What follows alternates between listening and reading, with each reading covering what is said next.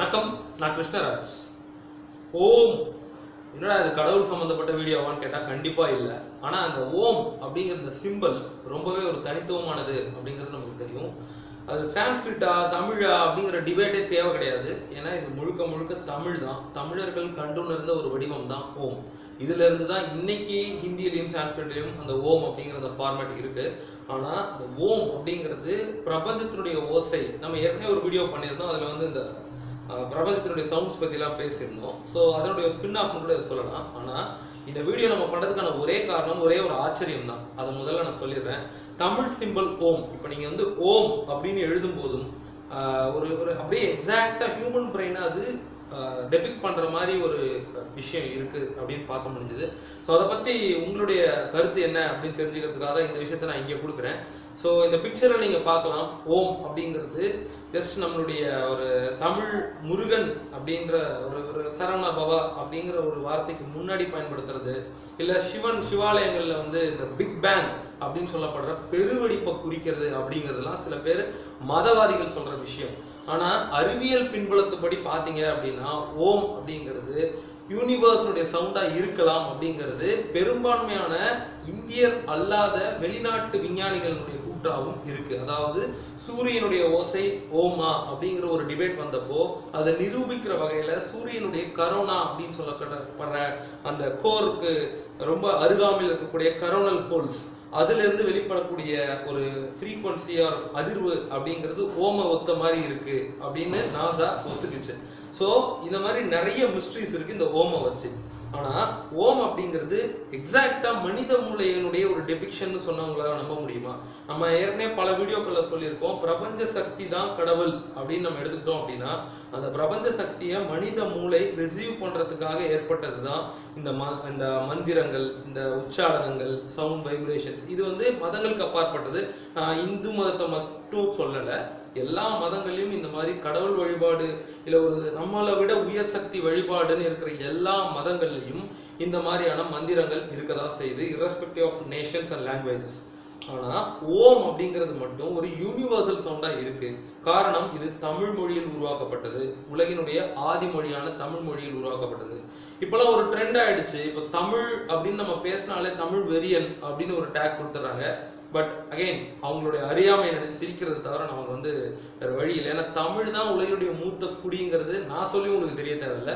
Scientific archaeological evidences இருக்குது coming back to the topic இந்த ஓம் அப்படிங்கிறது முதல்ல இருக்கக்கூடிய அந்த சுழி இருக்குல்ல அந்த சுழிச்சு இருக்கு இல்லையா அதுலேருந்து ஆரம்பிச்சு இந்த அந்த ஆர்ச் வரைக்கும் பார்த்தீங்கன்னா மூளையினுடைய செரிபிரமை குறிக்குது. மனித மூளையினுடைய இப்போ நீங்கள் ஒரு ஹியூமன் பிரெயினை எடுத்து பார்க்குறீங்க அப்படின்னா செரிபிரம் தான் லார்ஜஸ்ட் பகுதி. பிரெயினுடைய விசிபிள் பார்ட் முக்கால்வாசி பகுதியை ஆக்குபை பண்ணிருக்கிறது செரிபிரம் தான். அது இந்த ஓம்னுடைய அந்த மேல் பகுதி அந்த ஓங்காரத்தினுடைய அந்த மேல் பகுதி.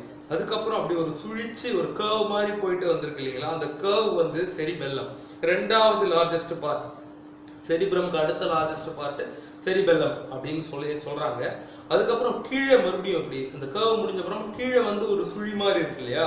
அது வந்து மெடுலா ஆப்லாங்கேட்டான்னு சொல்றாங்க. As we all know medulla oblongata is nothing but the continuation of human brain அதாவது மூளையினுடைய தொடர்ச்சியான ஸ்பைனல் கார்டு அந்த முதுகு தண்டுவடத்துக்கும் மூளைக்கும் இடைப்பட்ட அந்த கடைசி இடத்துல இருக்கக்கூடியது அந்த மெடுலா ஆப்லங்கேட்டா மனித மூளை தான் எல்லா உயர் சக்திகளையும் இல்லை நம்ம மனித சக்திக்கு அப்பாற்பட்ட விஷயங்களை கிரகிக்கக்கூடிய நம்ம உடல்லே முக்கியமான கருவி ஒரு ஒரு உறுப்பு அப்படிங்கிறத நம்மளுடைய முன்னோர்கள் தமிழ் முன்னோர்கள் இந்திய முன்னோர்கள் இல்லை உலக முன்னோர்கள் நீங்கள் எப்படி உங்களுக்கு கம்ஃபர்டபுளாக அப்படி சொல்லிக்கலாம். நம்மளுடைய முன்னோர்கள் உணர்ந்ததுனால தான் அதை வந்து ஓம் அப்படிங்கிற ஒரு வடிவத்தில் வழிபாட்டு முறைக்கு கொண்டு வந்திருக்காங்க. இன்னைக்கு மத ரீதியா பிரிஞ்சு போய் இன ரீதியா ஆஹ், சாதி ரீதியா பிரிஞ்சு போயிருக்கிறவங்க அவங்கவுங்க வசதிக்கு ஏற்ற மாதிரி இந்த கடவுள் தான் அந்த கடவுள் தான் அதுதான் இதுதான் ஒரு ஒரு கடவுளுக்கும் எக்ஸ்பைரி டேட்லாம் நம்ம வச்சுக்கிறோம். ஆனா அப்போ இருந்த ஒரு நாகரிகத்துல வந்து கடவுள் வழிபாடுங்கிறது இயற்கை வழிபாடு தான் அப்படிங்கிறது இப்போ சமீபத்தில் நடந்த கீழடி ஆராய்ச்சியில கூட அது நமக்கு புலனாச்சு. ஸோ அந்த வகையில் எல்லாம் யோசிச்சு பார்த்தா ஹியூமன் பிரெயினை எக்ஸாக்டா டெபிக் பண்றது இந்த ஓம் அப்படிங்கிறதுல எந்த மாற்று கருத்தும் யாருக்கும் இல்லை.